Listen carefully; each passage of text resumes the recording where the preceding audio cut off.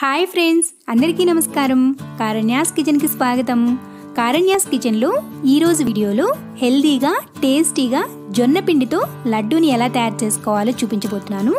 జొన్న పిండితో ఏం చేసుకున్నా అది హెల్త్కి ఎంతో మంచిది కదా. సో ఈరోజు జొన్న పిండితో పిల్లలకి ఇలా లడ్డూలు చేసి పెట్టండి. వాళ్ళు చాలా ఇష్టంగా తింటారు. సో హెల్దీ అండ్ టేస్టీ అయిన జొన్న పిండితో లడ్డూని ఎలా తయారు చేసుకోవాలో ఆ ప్రాసెస్ ఏంటో వీడియోలోకి వెళ్ళి చూసేద్దాం.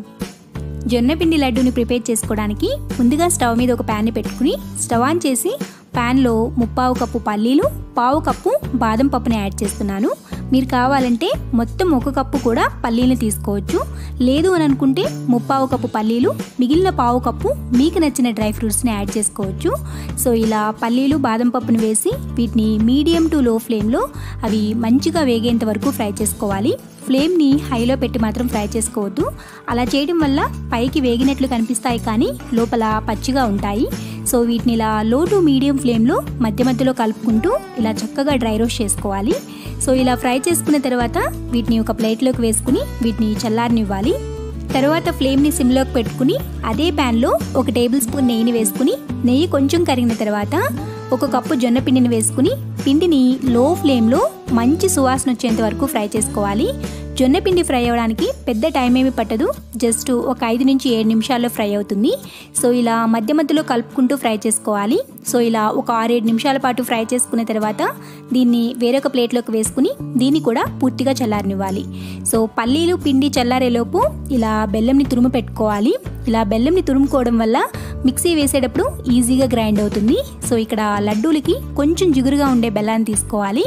సో బెల్లంలో చాలా రకాలు ఉంటాయి కదా. మనకి డీమార్ట్లో దొరికే ప్యాకెట్లు హాఫ్ కేజీ ప్యాకెట్లు వన్ కేజీ ప్యాకెట్లు ఒకటే కుంది ఉంటుంది కదా. సో ఆ బెల్లం అయితే లడ్డూలకి చాలా బాగుంటుంది. సో ఇలా బెల్లాన్ని ఒక కప్పు వరకు తీసుకోవాలి.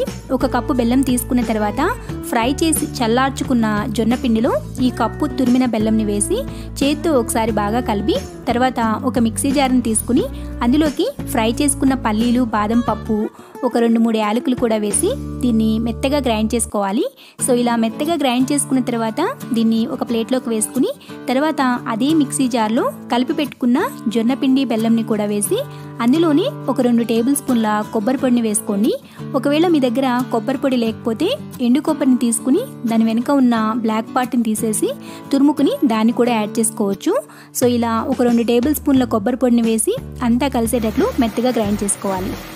ఫ్రెండ్స్ ఇప్పటి వరకు చూసిన వీడియో కానీ మీకు నచ్చినట్లయితే వీడియోకు ఒక లైక్ కొట్టి ఇప్పటి వరకు మన ఛానల్ని సబ్స్క్రైబ్ చేసుకోకపోయినా లేదా మన ఛానల్ని కొత్తగా చూస్తున్న వారు ఎవరైనా ఉంటే ఛానల్ని సబ్స్క్రైబ్ చేసుకుని పక్కనే ఉన్న బెల్ ఐకాన్ క్లిక్ చేయండి. నేను వీడియో పెట్టిన వెంటనే మీకు నోటిఫికేషన్స్ వస్తాయి.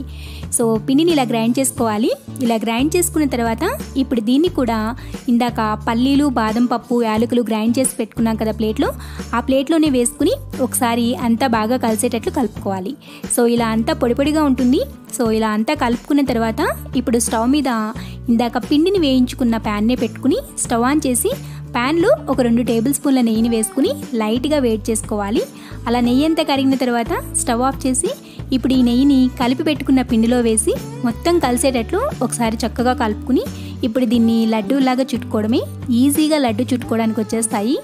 అంతే. ఆరోగ్యానికి ఎంతో మేలు చేసి ఈ జొన్న పిండి లడ్డూని మీ ఇంట్లో కూడా ట్రై చేయండి. సో ఇలాగే మిగిలిన పిండి అంతా కూడా లడ్డూలాగా చుట్టుకోవడమే. నచ్చిందా? జొన్నపిండి లడ్డు? నచ్చితే వీడియోని లైక్ చేయండి. ఈ వీడియోని మీ ఫ్రెండ్స్కి రిలేటివ్స్కి షేర్ చేయండి. మర్చిపోకుండా మన ఛానల్ కారణ్యాస్ కిచెన్ని సబ్స్క్రైబ్ చేసుకోండి. Thanks for watching.